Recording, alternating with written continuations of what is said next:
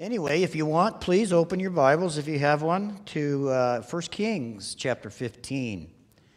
We're going to continue going through 1 Kings together. And we're going to be seeing the uh, musical chairs of kingdoms as we go down through here. It gets pretty crazy. Um, and, you know, a lot of the uh, references that you'll find um, to some of the stories and some of the record that we have in Kings are going to be uh, reviewed again when we get to Chronicles. And a lot of the guys in these, in First and Second Kings, they'll be mentioned again. Um, you might wonder why they do that. Um, there's some information in each one of the other books that we don't have necessarily in the one that we're going through right now. So um, it will just enhance our understanding of uh, what's happening here. So I'm going to go ahead and start reading here a little bit, and uh, we'll get this going. Chapter 15, verse 1. In the 18th year of King Jeroboam, the son of Nebat, Abijam became king over Judah. He reigned three years in Jerusalem. His mother's name was Maacah the grandmother of Abishalom. And he walked in all of the sins of his father, which he had done before him. His heart was not loyal to the Lord his God, as was the heart of his father David. Nevertheless, for David's sake, the Lord his God gave him a lamp in Jerusalem by setting up his son after him and by establishing Jerusalem. Because David did what was right in the eyes of the Lord and had not turned aside from anything that he commanded him all the days of his life, except in the matter of Uriah the Hittite. So interesting, we have this little uh, historical narrative here about David once again. And this king that we're looking at here um, he, uh, Abijam, he um, doesn't last very long. He's only there and installed in that position for, well, God has allowed it for a very short time, and he has a purpose in allowing Abijam to reign. It says in verse 4 that it's for David's sake that he did it. For David's sake, he wanted to have a lamp in Jerusalem by setting up his son after him to establish Jerusalem. Now, you might remember one of uh, David's sons um, was um, Absalom. And you all remember what happened to Absalom, right? Um, this is from Absalom's line. That's why we see the name Abishalom. And uh, you'll see that as we go down through here a little bit. But you remember that it was Absalom that betrayed David, and Absalom met a terrible fate on the battlefield. Um, he was hung by his hair, and then he was slaughtered. Um, but he was a traitor, and you know, you remember the grief that he caused David. Um, all the soldiers that had laid their lives down for David were almost brushed off, if you will, for the sake of his son Absalom. He mourned over the traitor more than he mourned over the patriots. And uh, that didn't go over real well with some of his uh, counselors and some of his leaders. But is that the only thing that David did wrong? Was Uriah the Hittite? I mean, you know, you think about uh, yeah, Bathsheba is what we're referring to here, exactly. But what we're seeing in a lot of these stories as we go down through here, and I think we're going to see the word come up again um, sodomy, sodomizing, um, men having sex with men. Um, this was happening on a regular basis. And I don't think that of all of David's faults that he may have had, this is one line that David never crossed. I think God honored, honored that because all of these other guys, for the most part, probably partook in a lot of the perverted behavior that was going on in the kingdoms during this time. When your leaders are doing it, it kind of feels right. Kind of feels like maybe it's okay. If the leaders are doing it, and and this is, you know, this is the very thing that destroys a nation. It's the very thing that takes God's hand of blessing off of a nation. And yes, it's about sex. Sex is a very precious thing in God's eyes when it's properly enjoyed. But when the enemy comes along and puts it in the minds of evil men to totally subvert that invention of God and pervert it, it's very serious business. Well, we know what happened to Sodom and Gomorrah. Dan has told me stories about being over there and seeing it, the desolation that was left. I think he even brought some Sodom dirt home with a shoebox full of Sodom dirt. So leave it at your house. Um, and don't try to plant a garden in it, it probably won't grow. Anyway, um, so this guy here is not a whole lot different. But again, God does things, I think, sometimes that we might look at and go, I don't really understand why you're doing this, Lord. Why would you allow this little brat to reign for three years, and all he's going to do is right away, he's going to turn against the Lord. And you know that he's going to do that, Lord, but yet you put him in that spot anyway. And uh, it's just a temporary spot for this king Abijam, and he doesn't last very long at all. Verse 6 tells us that there was war between Rehoboam and Jeroboam all the days of his life. You know, we, we read that earlier um, up in chapter 14. In verse 30, it says it there too that there was war between Rehoboam and Jeroboam all of their days. These guys battled with one another for their whole lives because of family squabbles, because they one wanted to have power over the other one, and none of it was uh, okayed by God. He allowed it to happen, but it just shows you um, the condition spiritually of Judah and Israel.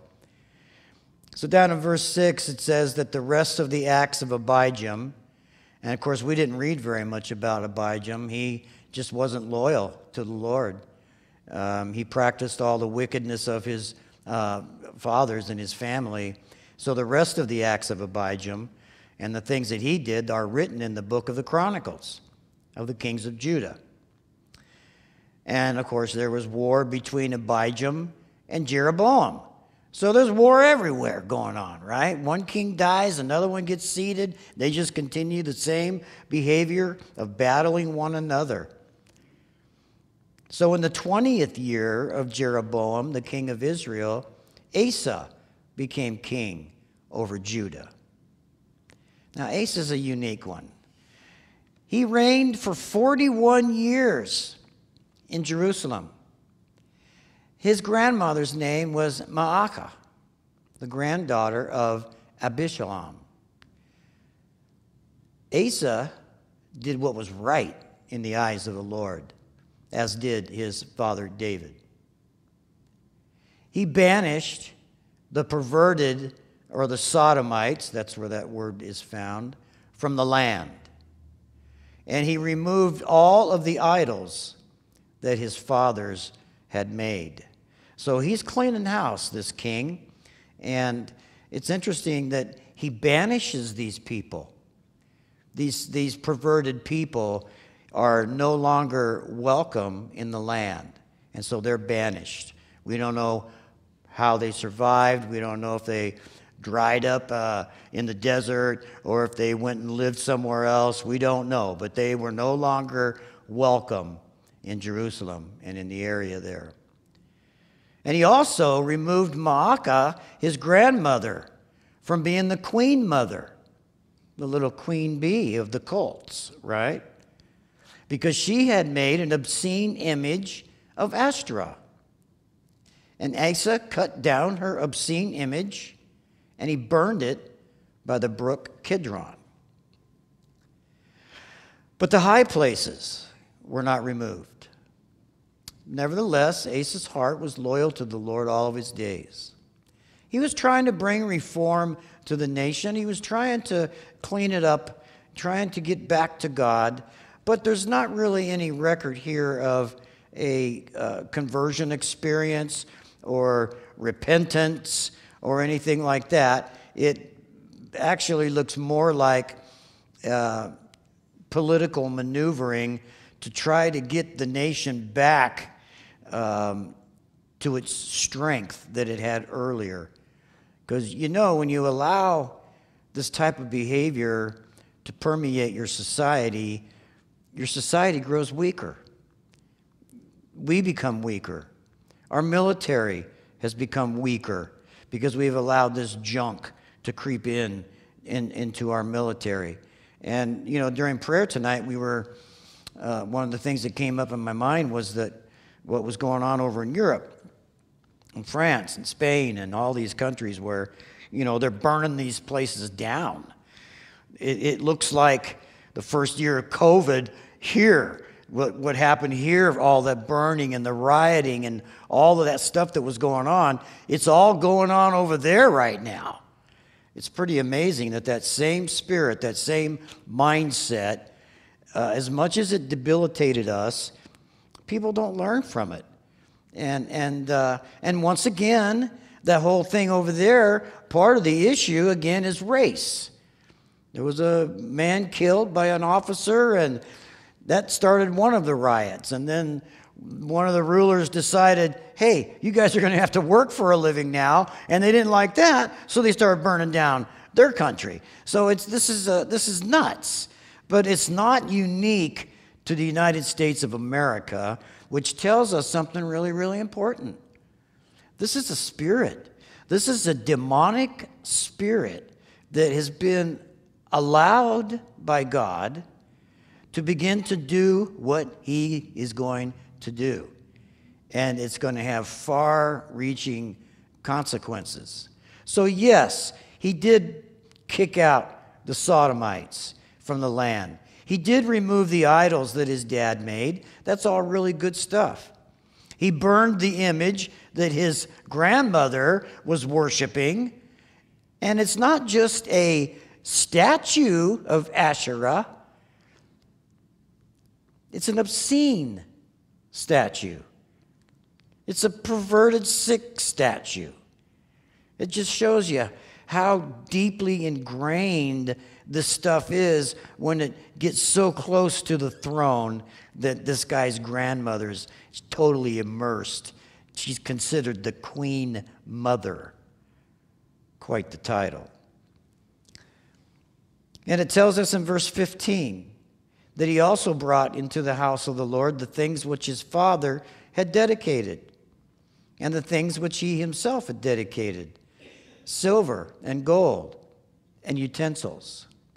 So he was trying to bring back some of the things that were in the temple, some of the precious items that had been placed in there. They were replaced with images and all different types of idol worshiping uh, material in there, altars to burn incense and sacrifice uh, to, to, false gods. This, this gets so bad that for 400 years, I believe it's 400, for about 400 years, they didn't have any scripture. They had no clue where their Bible was because it was buried in the temple. It was buried under all the stuff that Israel had accumulated and Judah had accumulated from worshiping false idols. And it wasn't until some 400 years later when another king came along and we met him by name already. He's going to come on the scene, Josiah, and there's going to be a revival. And he's going to find God's word, and the people are going to be so overjoyed by the finding of the Bible, their Bible, their scrolls. When you do not have the word, when you do not take the time to read the word, protect it, preserve it, honor it, then you don't have a compass. You don't have real direction for your life. You're just going to go with the flow. You know, as Pastor Chuck used to say years ago, he used to say, you know, any old fish can, you know, swim downstream with the rest. It takes a strong fish to turn around to swim against the current. And that's exactly what we're called to do as believers. We don't go along with everything. We, we turn around and we go against it. We swim against the current of the evil things that are going on in the world. So Baasha, verse 17, the king of Israel, came up against Judah and he built Ramah. So he puts this, begins to build this city that's going to kind of block, going to kind of block um, Judah to where they're not going to be able to come and go as they need to. So he begins construction on Ramah that he might let none go out or come in to Asa, king of Judah. Then Asa took all the silver. Now, here's where Asa's downfall was. He took all the silver and the gold that was left in the treasuries of the house of the Lord and the treasuries of the king's house, and he delivered them into the hands of his servants.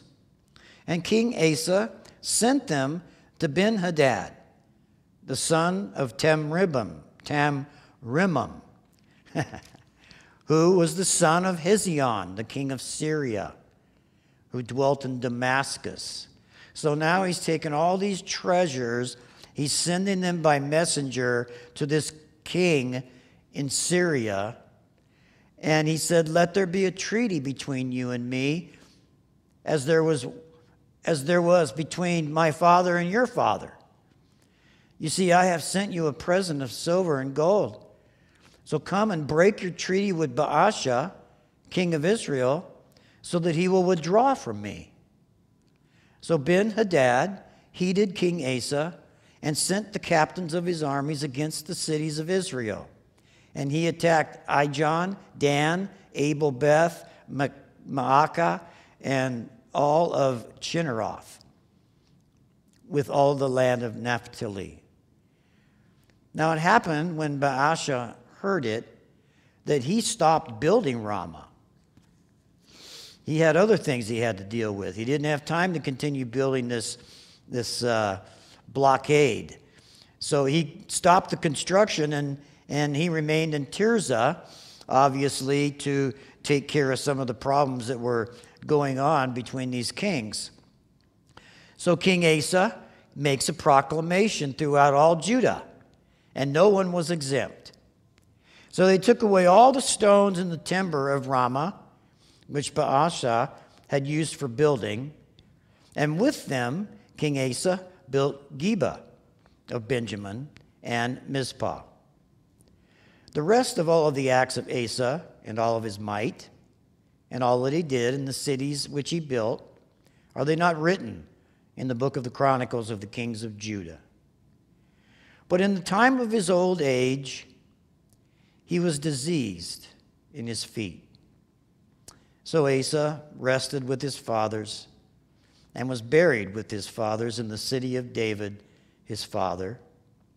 And then Jehoshaphat, his son, reigned in his place. So that's our little story about Asa. Asa did a lot of really good things, made a few foolish decisions, which cost him dearly. And we see that perhaps his um, last days were pretty darn uncomfortable. Evidently, he must have had some kind of a circulation problem, gangrene, gout, who knows. But whatever it was, it was enough to take him out.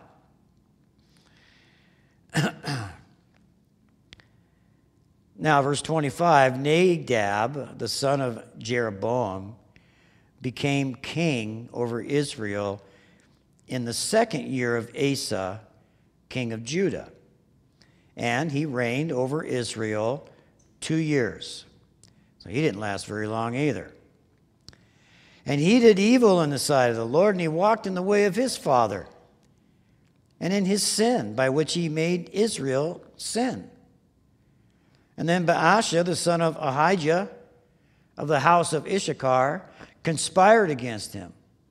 But Baasha killed him at Gibbethon, which belonged to the Philistines, while Nadab and all of Israel laid siege to Gibbethon. Baasha killed him in the third year of Asa, king of Judah, and he reigned in his place. And it was so when he became king that he killed all of the house of Jeroboam, prophecy being fulfilled.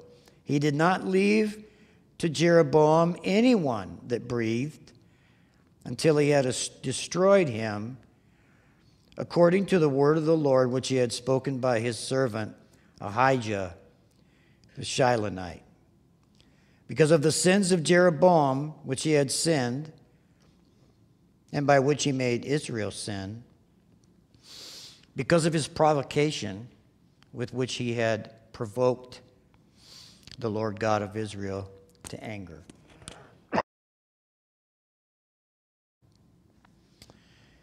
Can you imagine provoking God? I mean, that's really intense, isn't it? You got to have a pretty darn big ego to think that you can do something like that, to provoke the creator of the universe. Unbelievable. I don't know what these people are thinking, but I would assume that the same kind of thing goes on still today. Now, you know, we might think, well, you know, I used to have a uh, maybe a drinking problem, and I know that probably made God angry, and uh, the drugs, and maybe I was impure sexually, and all these different things in my life, and, you know, uh, provoking the Lord to anger. Well, I think what we're looking at here is a much bigger deal than what you and I have experienced in our journey uh, coming to the cross. Yeah, we get disciplined. Yeah, we get spanked. He's not going to let us get away with living a, the double life, if you will, undercover Christian, you know, uh, Christian by day and crazy man by night or whatever. Um, he sees those things and he disciplines us. He disciplines us as a father would discipline his child. That is a different thing than what we're looking at here. Provocation coming by these guys right here, thinking that they could literally stand against God and win. Now, I don't know about you guys, but I know that in my life, whenever I did something that I knew did not please the Lord, I knew that I was doing wrong. And I knew that there were going to be consequences for that wrong. That's how much the Lord loves us. That's how much the Father loves us, that He will discipline His people. But this is more than just discipline. You might remember this prophecy that Ahijah gave concerning Jeroboam, saying that there would not be one person in his bloodline to carry on his bloodline. because of the sins of Jeroboam. Not only did Jeroboam sin horrible sins, but he also made Israel sin. So now here you got the accountability of being a leader and misleading your people into these acts of lewdness or whatever you want to call it. Um, and God is holding Jeroboam responsible for it. Because he's the leader, he knows better. So, verse 33 um, in the third year of Asa, king of Judah, Baasha, the son of Ahijah, became king over Israel in Tirzah, and he reigned for 24 years. So now this guy's on the scene for quite a while. And he did evil, jeez, in the sight of the Lord. And what did he do? He walked in the way of Jeroboam and in his sin by which he had made Israel sin. What is up? Wouldn't you think that Baasha would get a clue here? Seeing what happened to Jeroboam, seeing what's happening to the nation, and how Asa tried so hard to try to square things away, but the people wouldn't have it. They had hardened their hearts against God. And now you want to party? You want to be perverted? You want to do evil things? You want to provoke the creator of the universe? Okay, here's another one I'm going to let you have for 20 some years. You know, kind of reminds me of that sniveling out, out, in the, out in the wilderness when the children of Israel were roaming around and they're saying, oh, I'm so sick of manna, you know. We're making manna pancakes and banana bread, and we can't get any more recipes for this. I'm sick of this. We need some meat. Think about that. God from heaven is supplying them nourishment to keep them healthy and strong. And they're complaining about it. I don't know. I'd probably complain too, maybe. I don't know. I like a chunk of meat once in a while, right? Or maybe some fish or something. But they wanted it so much, they complained so much, God said, Okay, you want it? I'm going to give you so much of it, you're going to be puking. You're going to get sick of it. You're never going to look at another bird for your rest of your life. And it's kind of like, you know, what we're seeing here. You guys want to live that way? You want to continue down that road? Okay. You know, I did, he did the same thing to Pharaoh, didn't he? I mean, you read that. You read that story about Pharaoh. It's very interesting because every time Moses went, Moses said, Hey, hey, Pharaoh, you know, God said, Let us go out to worship. Let us get out there and worship our God. And, and the Bible says over and over and over again Pharaoh hardened his heart against the words of Moses and would not let the people go. That goes all the way through the whole process until the very end. The very end, when the firstborn are going to be taken. And, and the whole wording now changes. Instead of it saying, Pharaoh hardened his heart against Moses, it says that God hardened Pharaoh's heart against Moses. And you might think, that's not fair. I mean, maybe Pharaoh would have repented. You mean God gave up on him? Yeah. Yeah. You know, people can get to a certain place where their hearts are so hard, their hearts are so callous, so evil, so polluted that God knows they will never repent. They're so steeped in their evil, they will never come out of it. That's scary. That really is scary stuff to think that that could be going on right now in people's lives. Yeah, we pray for them. We see them doing what they do out there. We, we see the evil. We know that it's demonic. But their hearts are so hardened and so callous that there's going to be a time, if it hasn't already come in some of their lives, where God's just going to say, I'm going to give you over to your reprobate behavior, and you're going to live it out. You know, if that was just done on an individual basis, that would be something that we would think, well, yeah, that's probably a good thing. But this is being done on a national level. This is huge.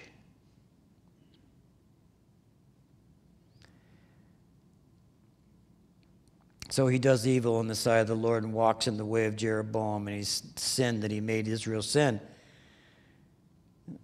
Then chapter 1 of verse 16 or verse 1 says, Then the word of the Lord came to Jehu, the son of Hanani, against Baasha, saying, Inasmuch as I lifted you out of the dust, and I made you ruler over my people Israel, and you have walked in the way of Jeroboam, and you have made my people, Israel, sin, to provoke me to anger with their sins.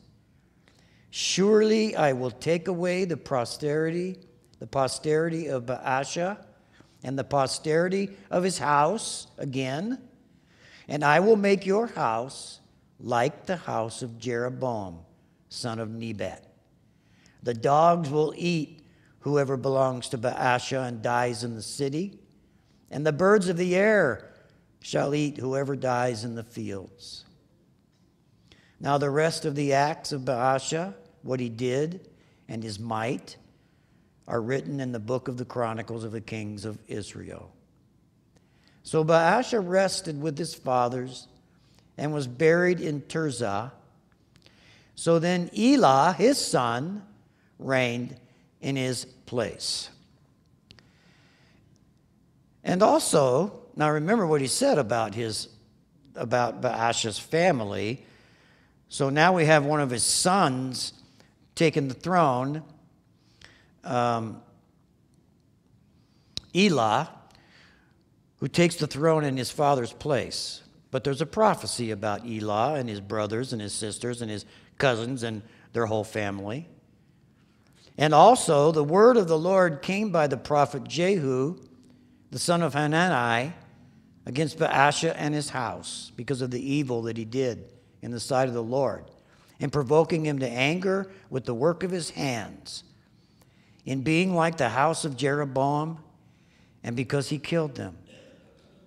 So, in the 26th year of Asa, king of Judah, Elah, the son of Baasha, became king over Israel and reigned for two years. Now his servant Zimri, commander of half of his chariots, conspired against him as he was in Tirzah, drinking himself drunk in the house of Arza, steward of his house in Tirzah. And Zimri went in and struck him and killed him in the 27th year of Asa, king of Judah, and he reigned in his place. And then it came to pass, when he began to reign, as soon as he was seated on the throne, that he killed all of the household of Baasha. He did not leave him one male, neither of his relatives nor of his friends. So, once again, the same fate comes to this household of Baasha. Baasha. And again, um, this man who the king trusted was a traitor and waited until the king was smashed drunk. And uh, Zimri went in there and assassinated him, slaughtered him. But in doing so, he was beginning to fulfill the prophecy concerning this king and his family. And so we find that he did wind up taking out all of his relatives and even his friends. How would you like to be Baasha's friend? And you'd be saying, Oh, no, no, I don't know the guy, right? You know, no, sorry, we've seen you partying with him. You're going down to. So Zimri he destroyed all the household of Baasha according to the word of the Lord, which he spoke against Baasha by Jehu the prophet. For all of the sins of Baasha and the sins of Elah his son, by which they had sinned and by which they had made Israel sin, in provoking the Lord God of Israel to anger with their idols. Around and around and around we go. Right? no lessons learned, nothing but rebellion, power hungry people who have chosen to rise up against God. And you got to think maybe um, with all the other false gods that are out there in their, in their area there where they live, there was a lot of idol worship going on. This stuff was pretty much integrated right into Jewish society. And, you know, that, that even went on during uh, the time of Rome. Um, when Christians in Corinth would go and light incense to another god, and then they would go to church. Because it was just what you did. It was just kind of what you do to get along. You go along to get along. Don't want to rock the boat. But even that far in, they're still compromising with the enemy. Why do we compromise with the enemy today? Well, I think the Christians sometimes compromise because maybe they're a little ashamed of being Christians. I mean, look at all the fun they're having out there, you guys. Look at all the stuff we're missing out on out there. Yeah, I know, I can't. Christians don't smile. We don't laugh. We don't have fun. We're just a bunch of fuddy duddies reading our Bibles all the time. Wow. Well, I'll tell you what. I have been more blessed having a Christian family than having a party family any day, right? Millions of times over. So these people are continuing provoking the Lord they're provoking Yahweh, Elohim. It's specific. That's why it doesn't just say God, it's the Lord God. He has a name. So the rest of the acts of Elah, again, we will find them in the book of Chronicles. So in the 27th year of Asa, king of Judah. Asa's been around for quite a while. He's seen a few kings come and go. I would imagine he's probably sitting back and he's probably learning a little bit because he was the one that did try to turn the hearts of the people. But you know, if you don't repent, it's kind of hard to really get your heart right with God. You guys remember the towers going down. You probably remember right where you were when you saw it happen. I do. I remember exactly what I was doing when I saw that first plane hit. And I was glued to my TV for the rest of the time. And that next Sunday, boy, I'll tell you what, Calvary Chapel, McMinnville was bursting at the seams. People were scared. People didn't know what was going to happen. And what did they do? They ran to God for a week, yeah.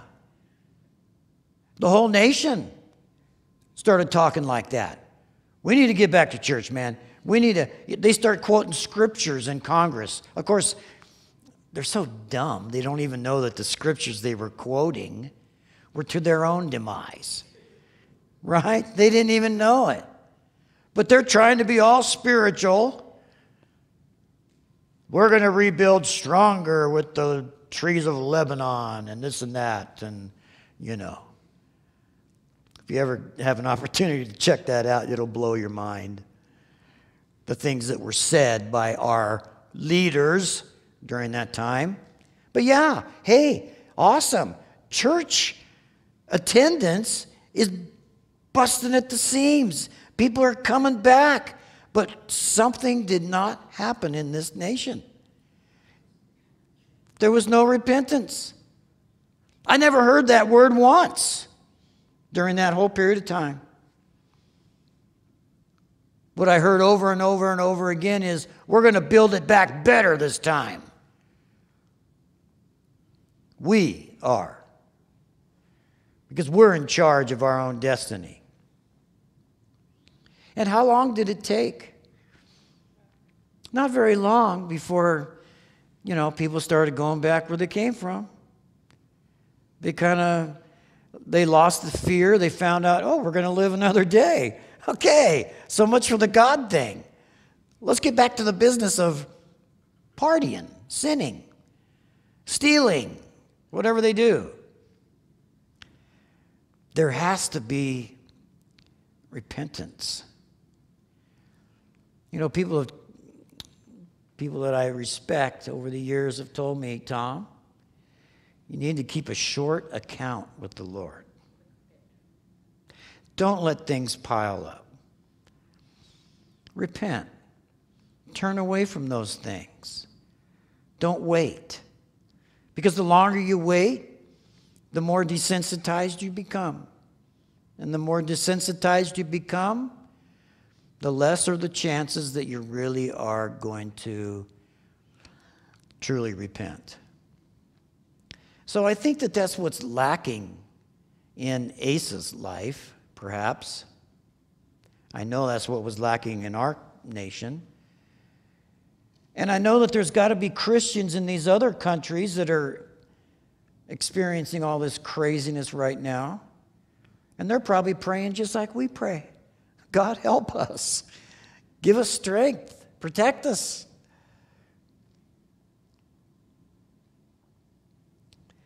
So, talk about a short reign, verse 15. In the 27th year of Asa, king of Judah, Zimri had reigned in Tirzah for seven days. And the people were encamped against Gibbethon, which belonged to the Philistines. Now, the people who were encamped heard it said that Zimri has conspired and also has killed the king. So all of Israel made Omri the commander of the army, king over Israel that day in the camp. And then Omri and all of Israel with him went up from Gibbethon and they sieged Tirzah. Wow, more peace, more wonderful things, more paradise, right? More death, more war. So it happened when Zimri saw the city was taken that he went into the citadel of the king's house and he burned the king's house down upon himself with fire, and he died. Because of the sins which he had committed in doing evil in the sight of the Lord, and walking in the way of Jeroboam, and in his sin which he had committed to make Israel sin. These people have been around the block so many times, it's round. And they're not learning a thing. Matter of fact, it's going to get worse. So then the people of Israel were divided into two parts. So we got actually the nation of Israel divided into Israel and Judah. And now Israel can't even get along. And now they're divided. Half of them are following Tibni, the son of Ginath, whoever that guy is, I have no clue, and made him king. The other half followed Omri. But the people who followed Omri prevailed over the people who followed Tibni, the son of Ginath. So Tibni died and Omri reigned. Omri reigned. So in the 31st year of Asa, again, he's still kicking, king of Judah, Omri becomes king over Israel and reigns 12 years. And for six years he reigned in Tirzah. And he bought the hill of Samaria from Shemer for two talents of silver. And then he built on the hill, called the name of the city which he built Samaria, after the name of Shemer, the owner of the hill. And Omri did evil in the eyes of the Lord. He did worse than all who were before him. For he walked in all the ways of Jeroboam the son of Nebat, and in his sin by which he had made Israel sin, provoking the Lord God of Israel to anger with their idols. So the rest of the acts of Omri, which he did, and the might that he showed, they're written in the book of the Chronicles of the kings of Israel. Omri rested with his fathers, and he was buried in Samaria. And then Ahab, his son, reigned in his place. In the 38th year of Asa, king of Judah, Ahab, the son of Omri, becomes king over Israel. And Ahab, the son of Omri, reigned over Israel in Samaria for 22 years. Now, Ahab, the son of Omri, did evil in the sight of the Lord more than all who were before him. It came to pass, as though it had been a trivial thing for him to walk in the sins of Jeroboam, the son of Nebat that he took for his wife Jezebel, the daughter of Ithbaal, the king of the Sidonians. And he went and he served Baal and worshiped him. And then he set up an altar for Baal in the temple of Baal, which he had built in Samaria. And Ahab made a wooden image. Ahab did more to provoke the Lord God of Israel to anger than all the kings of Israel were before him. In his days, Hiel of Bethel built Jericho.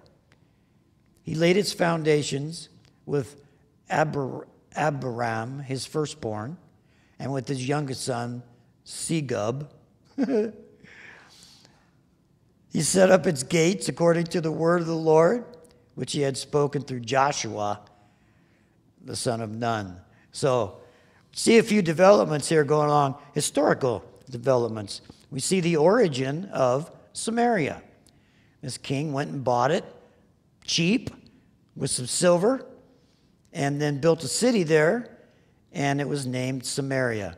So that city we find all the way through the Bible, all the way up to the time of Jesus, where Jesus has this very important appointment in Samaria with the woman at the well. Remember? So the Samaritan people, the Samaritan people, they interbred. They got their bloodlines all mixed up. And so the Jews, the purebloods, if you will, they looked upon them as half breeds. That's why they didn't like the Samaritan people. That's why there was such a divide between them. But you you see here in our text tonight uh, the origins of that, of that town. And we also get to see here that after all this time, that uh, Hillel, or Hiel, however you would say his name, he begins to rebuild Jericho. Now you can actually go, and there's more than one Jericho. The one that fell down, and then the other ones that were rebuilt after that event took place with Joshua. Um, so, again, another little historic event that takes place. And uh, this town is rebuilt again. I'm sure the walls were rebuilt again. Uh, why they would want to rebuild Jericho like that? Perhaps for strategic uh, reasons to have control of that area to protect their own uh, kingdoms. So we have a lot of different issues going on here. We've seen Asa hanging in there all the way through these two chapters, um, trying to do the right thing perhaps, uh, but not quite going far enough. Now, was that because was that like because Asa was a bad man, or maybe it was because Asa came from a long line of fools, bad parents, bad examples, people who thought they could rebel against God. You know that gets passed down. And if you notice here, one of the things that we see in the part of the pattern, we see the same things being said over and over and over, but now there's a new little statement being made. He did worse than all the other ones before him. So not only do these guys take after their dad, they become more wicked than their dad. And they do worse things. That should, you know, I know we don't have any real young parents in here tonight, but boy, I'll tell you, it's, it's kind of a slap in the face when, oh, we got one in the back back there. Of how we should have, perhaps, or how we did, parent our children. And you can tell a lot about that by what they're doing today and how they're living today, right? Of course, you can't force someone to do the right thing. You, you can invest in that. Um, we know what the Bible says about training up a child in the way he, that he should go. Uh, we know that it says that we shouldn't, we shouldn't spare the rod, which you could get in trouble for today if you did use it. Um, but uh, children need to learn discipline. They need to have an example from the parent whom they look up to. You know, it's weird. I, I can think back to when my oldest was about three. He thought I was Superman. He thought I was the all end all. I was the greatest thing on the planet. That changed. that changed over the years. Uh, not to his fault, but my own. But, uh, but that's how some of, some of the little ones look up to us as parents. And you only get one shot. Now I have grandchildren, so that's kind of fun because you get maybe an extra try with them to uh, maybe right some wrongs there. So, anyway, we'll pick this up again next Wednesday. We're moving through here at breakneck speed. So let's go ahead and pray. Father, we want to thank you again for your word, for this record that we have of what it looks like when we turn our face against you. And we see that it's a horrible picture. And Lord, as we look around today in our own world, we're grieved as we see people behaving the same way. And their hearts are becoming harder and harder all the time. And Lord, I know you've called us to love everyone. You've called us to never give up on people. And so, Lord, I need to ask you tonight if you would just continue to Put that in us, that love in us. That we would not become uh, judgmental, condemning people. That we could love the sinner and hate the sin, I guess, for a way to put it. But God, we know how, how much this world needs you and how much these people need you in their lives. And so many of them will never find you. So many of them are bound for eternal punishment. But we're thankful tonight, Lord, that you called us out of that. You turned our heads around.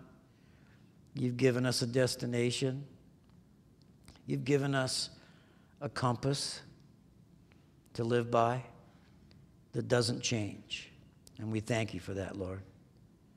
So bless us as we leave this place, the remainder of our week, Lord. May our light shine in the dark place. We ask it in Jesus' name. Amen.